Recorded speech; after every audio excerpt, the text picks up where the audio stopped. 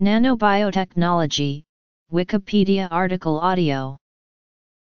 Nanobiotechnology, bionanotechnology, and nanobiology are terms that refer to the intersection of nanotechnology and biology.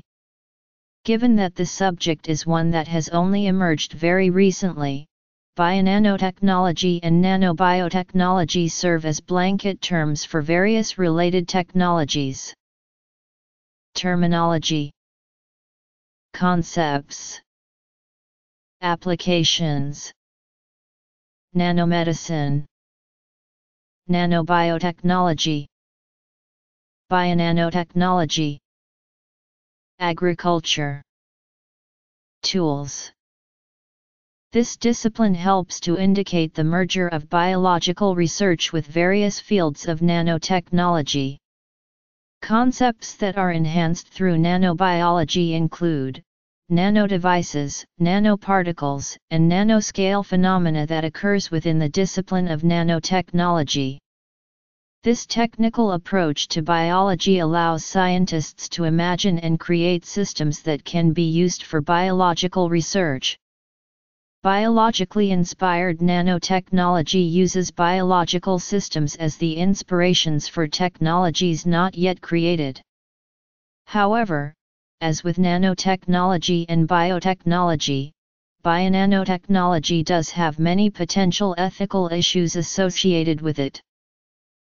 The most important objectives that are frequently found in nanobiology involve applying nanotools to relevant medical slash biological problems and refining these applications. Developing new tools, such as peptoid nanosheets, for medical and biological purposes is another primary objective in nanotechnology. New nanotools are often made by refining the applications of the nanotools that are already being used.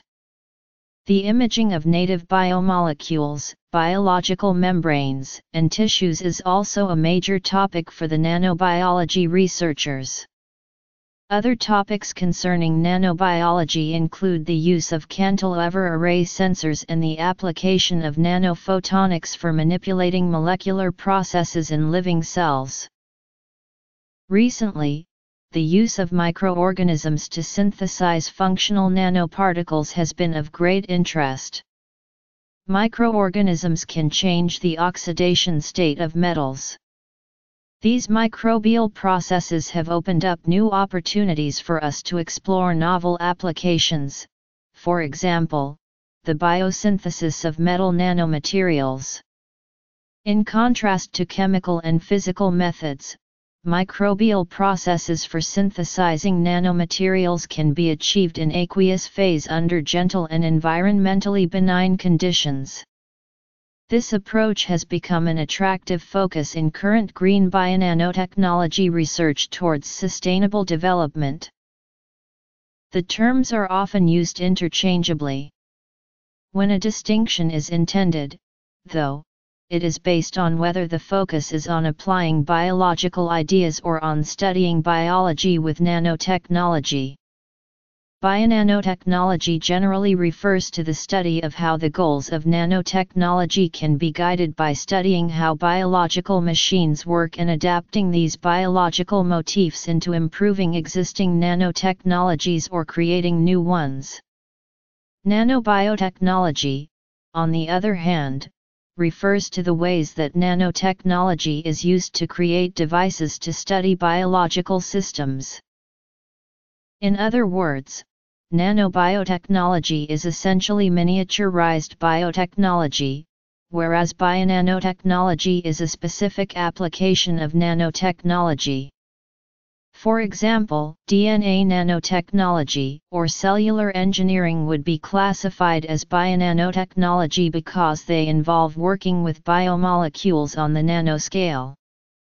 Conversely, many new medical technologies involving nanoparticles as delivery systems or as sensors would be examples of nanobiotechnology since they involve using nanotechnology to advance the goals of biology.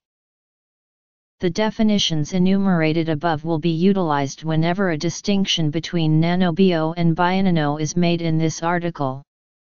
However, given the overlapping usage of the terms in modern parlance, individual technologies may need to be evaluated to determine which term is more fitting. As such, they are best discussed in parallel. Most of the scientific concepts in bionanotechnology are derived from other fields. Biochemical principles that are used to understand the material properties of biological systems are central in bionanotechnology because those same principles are to be used to create new technologies. Material properties and applications studied in bionanoscience include mechanical properties, electrical/electronic, optical, thermal, biological, nanoscience of disease, as well as computing and agriculture the impact of bionanoscience, achieved through structural and mechanistic analyses of biological processes at nanoscale, is their translation into synthetic and technological applications through nanotechnology. Nanobiotechnology takes most of its fundamentals from nanotechnology. Most of the devices designed for nanobiotechnological use are directly based on other existing nanotechnologies. Nanobiotechnology is often used to describe the overlapping multidisciplinary activities associated with biosensors, particularly where photonics, chemistry, biology, biophysics, nanomedicine, and engineering converge. Measurement in biology using waveguide techniques, such as dual polarization interferometry, are another example. Applications of bionanotechnology are extremely widespread. Insofar as the distinction holds, nanobiotechnology is much more commonplace in that it simply provides more tools for the study of biology. Bionanotechnology, on the other hand, promises to recreate biological mechanisms and pathways in a form that is useful in other ways. Nanomedicine is a field of medical science whose applications are increasing more and more thanks to nanorobots and biological machines, which constitute a very useful tool to develop this area of knowledge. In the past years, researchers have done many improvements in the different devices and systems required to develop nanorobots. This supposes a new way of treating and dealing with diseases such as cancer. Thanks to nanorobots, side effects of chemotherapy have been controlled, reduced, and even eliminated, so some years from now, cancer patients will be offered an alternative to treat this disease instead of chemotherapy, which causes secondary effects such as hair loss, fatigue, or nausea killing not only cancerous cells but also the healthy ones. At a clinical level, cancer treatment with nanomedicine will consist of the supply of nanorobots to the patient through an injection that will search for cancerous cells while leaving untouched the healthy ones. Patients that will be treated through nanomedicine will not notice the presence of these nanomachines inside them, the only thing that is going to be noticeable is the progressive improvement of their health. Nanobiotechnology is best described as helping modern medicine progress from treating symptoms to generating cures and regenerating biological tissues. Three American patients have received whole cultured bladders with the help of doctors who use nanobiology techniques in their practice. Also, it has been demonstrated in animal studies that a uterus can be grown outside the body and then placed in the body in order to produce a baby. Stem cell treatments have been used to fix diseases that are found in the human heart and are in clinical trials in the United States. There is also funding for research into allowing people to have new limbs without having to resort to prosthesis. Artificial proteins might also become available to manufacture without the need for harsh chemicals and expensive machines. It has even been surmised that by the year 2055, computers may be made out of biochemicals and organic salts. Another example of current nanobiotechnological research involves nanospheres coated with fluorescent polymers. Researchers are seeking to design polymers whose fluorescence is quenched when they encounter specific molecules. Different polymers would detect different metabolites. The polymer-coated spheres could become part of new biological assays, and the technology might someday lead to particles which could be introduced into the human body to track down metabolites associated with tumors and other health problems. Another example, from a different perspective, would be evaluation and therapy at the nanoscopic level, i.e. the treatment of nanobacteria as is done by nanobiotech pharma. While nanobiology is in its infancy, there are a lot of promising methods that will rely on nanobiology in the future. Biological systems are inherently nano in scale, nanoscience must merge with biology in order to deliver biomacromolecules and molecular machines that are similar to nature.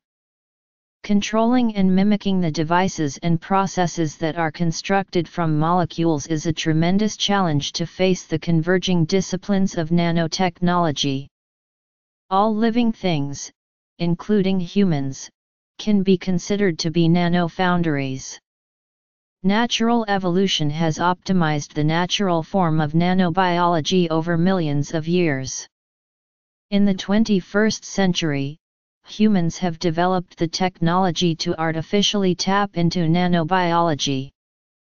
This process is best described as organic merging with synthetic.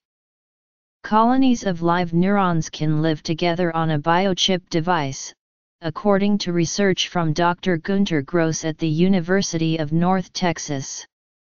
Self-assembling nanotubes have the ability to be used as a structural system they would be composed together with rhodopsins, which would facilitate the optical computing process and help with the storage of biological materials.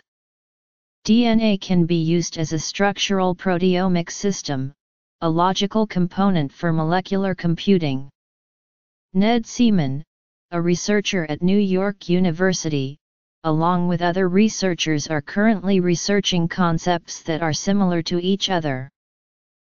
DNA nanotechnology is one important example of bionanotechnology. The utilization of the inherent properties of nucleic acids like DNA to create useful materials is a promising area of modern research. Another important area of research involves taking advantage of membrane properties to generate synthetic membranes. Proteins that self-assemble to generate functional materials could be used as a novel approach for the large-scale production of programmable nanomaterials. One example is the development of amyloids found in bacterial biofilms as engineered nanomaterials that can be programmed genetically to have different properties. Protein folding studies provide a third important avenue of research, but one that has been largely inhibited by our inability to predict protein folding with a sufficiently high degree of accuracy. Given the myriad uses that biological systems have for proteins, though, research into understanding protein folding is of high importance and could prove fruitful for bionanotechnology in the future. Lipid nanotechnology is another major area of research in bionanotechnology, where physicochemical properties of lipids such as their anti-fouling and self-assembly is exploited to build nanodevices with applications in medicine and engineering. Nanotechnology application to biotechnology leaves no field untouched by its groundbreaking scientific innovations for human wellness, the agricultural industry is no exception. Basically, Nanomaterials are distinguished depending on the origin, natural, incidental, and engineered nanoparticles. Among these, engineered nanoparticles have received wide attention in all fields of science, including medical, materials and agriculture technology with significant socio-economical growth. In the agriculture industry, engineered nanoparticles have been serving as nanocarriers, containing herbicides, chemicals, or genes, which target particular plant parts to release their content. Previously nanocapsules containing herbicides have been reported to effectively penetrate through cuticles and tissues, allowing the slow and constant release of the active substances. Likewise, other literature describes that nano-encapsulated slow release of fertilizers has also become a trend to save fertilizer consumption and to minimize environmental pollution through precision farming. These are only a few examples from numerous research works which might open up exciting opportunities for nanobiotechnology application in agriculture. Also, application of this kind of engineered nanoparticles to plants should be considered the level of amicability before it is employed in agriculture practices. Based on a thorough literature survey, it was understood that there is only limited authentic information available to explain the biological consequence of engineered nanoparticles on treated plants. Certain reports underline the phytotoxicity of various origin of engineered nanoparticles to the plant caused by the subject of concentrations and sizes. At the same time, however, an equal number of studies were reported with a positive outcome of nanoparticles, which facilitate growth promoting nature to treat plant. In particular, compared to other nanoparticles, silver and gold nanoparticles based applications elicited beneficial results on various plant species with less and slash or no toxicity. Silver nanoparticles treated leaves of asparagus showed the increased content of ascorbate and chlorophyll. Similarly, untreated common bean and corn has increased shoot and root length, leaf surface area, chlorophyll, carbohydrate, and protein contents reported earlier. The gold nanoparticle has been used to induce growth and seed yield in Brassica juncea. This field relies on a variety of research methods, including experimental tools, X-ray diffraction-based tools, synthesis via self-assembly, characterization of self-assembly, theory, as well as computational approaches.